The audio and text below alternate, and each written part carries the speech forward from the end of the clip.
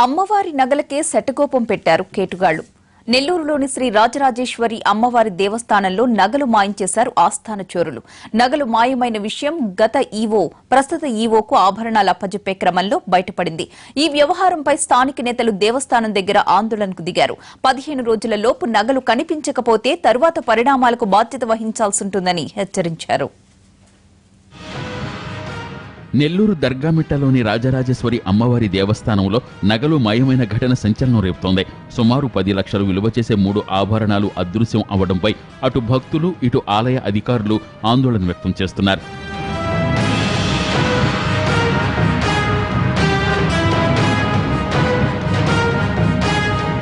గతంలో ఇక్కడ ఈవోగా కోదండరామిరెడ్డి పనిచేశారు. ఆయన బదిలీ మీద వెళుతున్న క్రమంలో ఆభరణాలు అప్పజెప్పే సమయంలో ఈ విషయం బయటపడింది. ఈవోకి ఇచ్చామని అర్చకులు అర్చకుల వద్దే ఉన్నాయని ఈవో ఒకరిపై ఒకరు ఆరోపణలు చేసుకుంటున్నారు.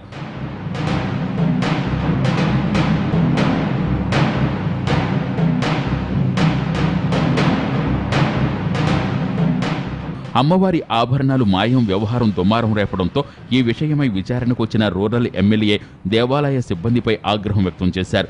పదిహేను రోజుల్లోపు మాయమైన అమ్మవారి నగలు కనిపించకపోతే తీవ్ర పరిణామాలు ఉంటాయని హెచ్చరించారు. భక్తుల మనోభావాలు దెబ్బతినేలా వ్యవహరిస్తే చర్యలు తప్పవని అన్నారు. పదిహేను రోజుల్లో పదిహేను రోజుల్లో రాజరాజేశ్వరి అమ్మవారి ఆభరణాలు ఎక్కడికైతే గల్లంతయ్యాయో ఆభరణాలు పూర్తి స్థాయిలో యథాత స్థితిలో ఉండాల?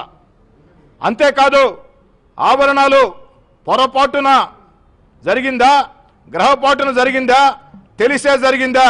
ఈ అన్ని విషయాల మీద కూడా పూర్తి స్థాయిలో విచారణ జరగాల. కావాలని అమ్మవారి ఆభరణాలు గల్లంత చేశారని విచారణలో కానీ తేలితే ఖచ్చితంగా అందుకు బాధ్యులైన వ్యక్తుల మీద వాళ్ళు ఏ స్థాయిలో ఉన్నా ఖచ్చితంగా కఠిన చర్యలు తీసుకోవాలా.